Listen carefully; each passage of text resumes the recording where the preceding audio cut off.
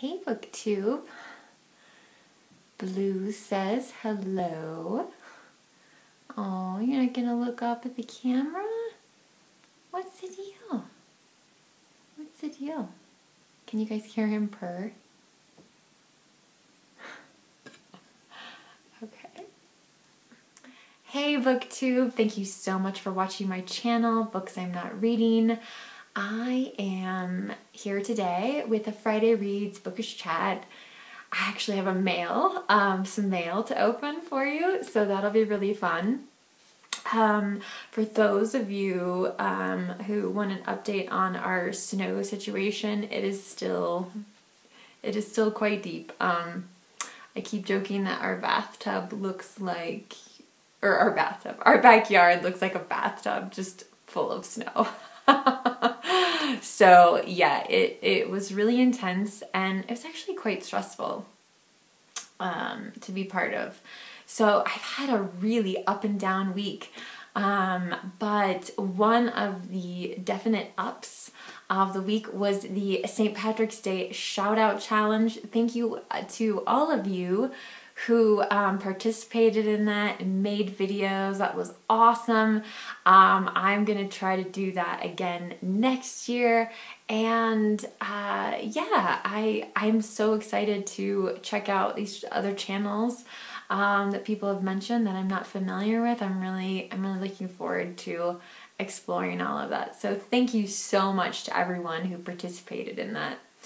Uh, the other thing that's been going on for me on booktube is just uh, either getting sucked in or just getting really agitated about um, channels that are negative you know like they just have like this negative energy to them. And um and again like who am i to tell people like do what you want to do with your channel? I just I just won't be watching because I just get all worked up like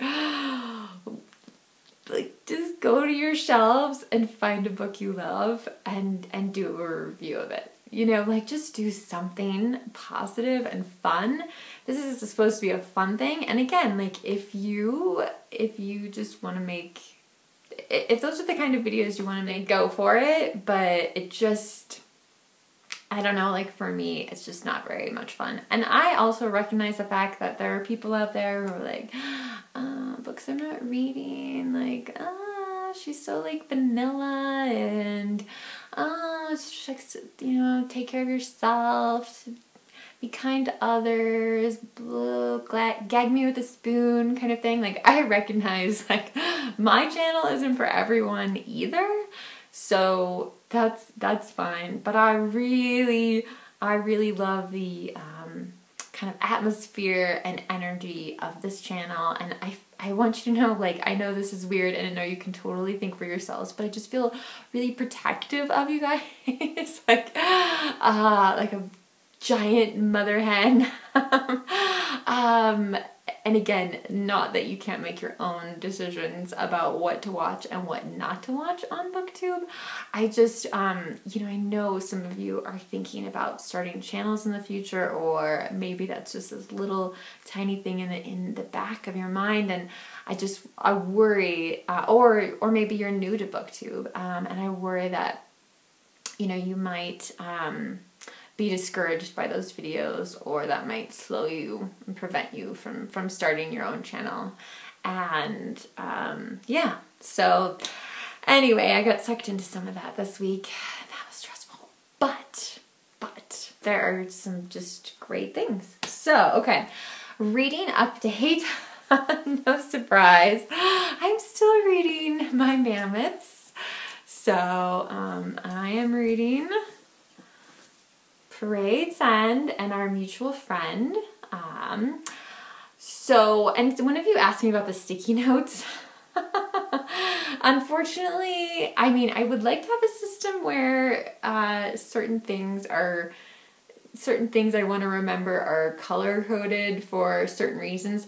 Normally, I only use the sticky tabs if um, if it's like a quote that I want to put in my commonplace book. Um, but when I do buddy reads, I have to be have to be on my game and uh, you know be able to go back and find the things that I want to talk about. And so so there yeah, there's not a lot of rhyme or reason um, to it. But it's funny because you know the year got off to a really rough reading start for me and these are both I think I mean, I'm not done with them obviously, but I definitely predict these are both going to be five star books. So I'm really struggling with this one at the moment. Um, it, it just started to get a little bit smoother, but Ford Madox Ford, like the way he kind of plays with time and um, wanting to, he uses his language as a way to maybe disorient you at times or um, confuse you. And I and I think he's doing that for a certain effect. I don't think it's definitely don't think it's random. And of course, I mean, Dickens, there's just oh, so many like moving and funny and uh, sad and there's great villains of course and uh, anyway so this has is just a joy to read um, so yeah i'm enjoying both of those oh and to my future self, I'm really truly saying this to myself. Kelly, when you do a buddy read with Joe, this buddy read, you checked in every four chapters and you tried to read, there's four books in here, so one book a week. Um, and I'm saying that because every time I do a buddy read with Joe, I'm always like, how do we do this? How I don't remember. so um Allie and I, um Allie from Fox Folios and I, like we've been checking in every kind of um oh well there's there's four books within it and then each book has different sections. So we've been kind of checking in every section uh, of the book. And yes there's a, a, lot of sticky notes in there. So so i um again another question one of you asked me was how do I keep track of things? so this is just a great example. Um, a chewing gum wrapper and I wrote down how many pages I would like to read this weekend, which is 220. Um, whether I get there or not, I don't know, but uh, yeah. So, so that's how I keep track of things. Random bits of paper everywhere. All right, so the next very exciting uh, that I have to share is one of you sent me a package. This is so, so nice of you. I do know what it is, but I, I was like, oh, just wait, wait until my Friday Reads video so that we can open it up together because I'm so excited about this.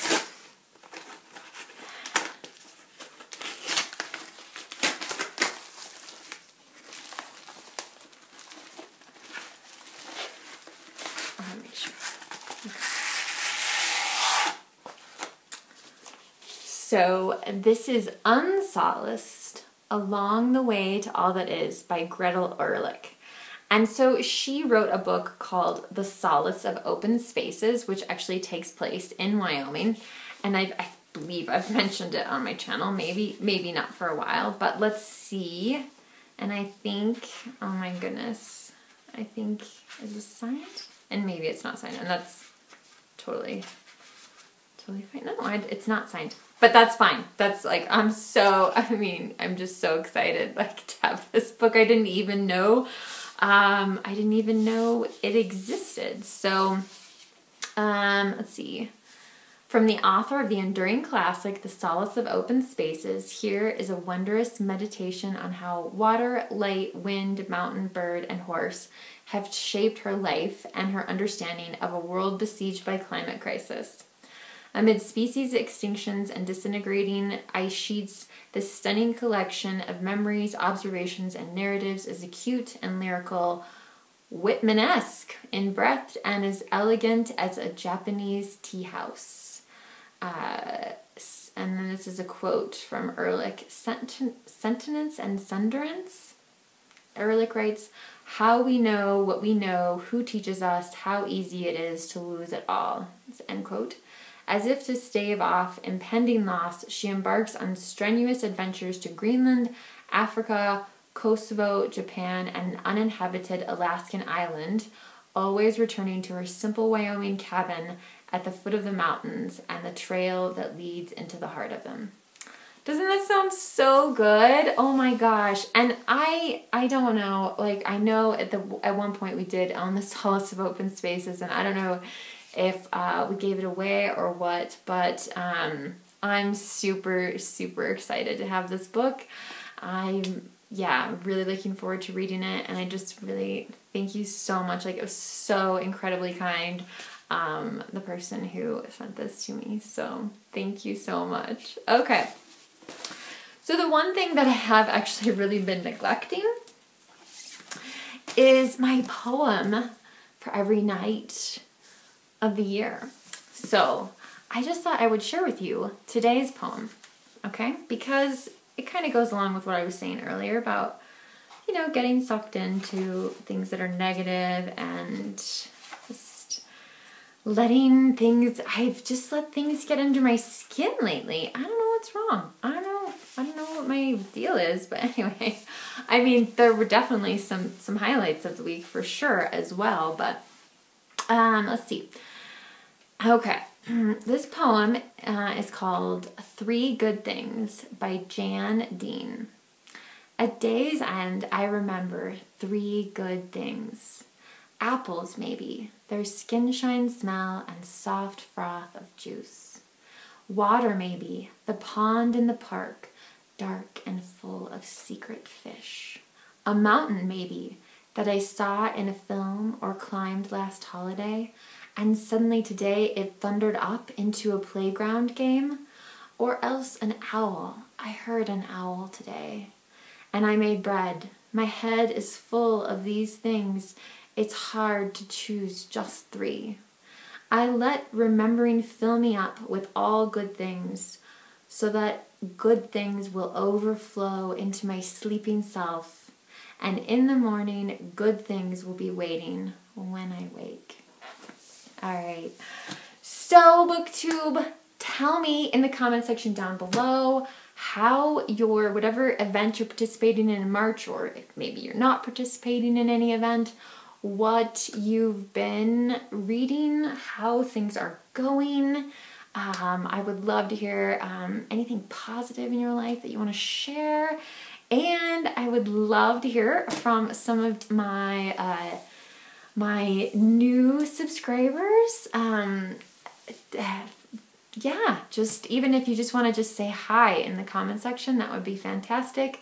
So I really look forward to that. And uh, yeah, you guys take care. Remember to be kind to yourself and be kind to others and I will talk to you soon, BookTube. Have a great weekend. Bye.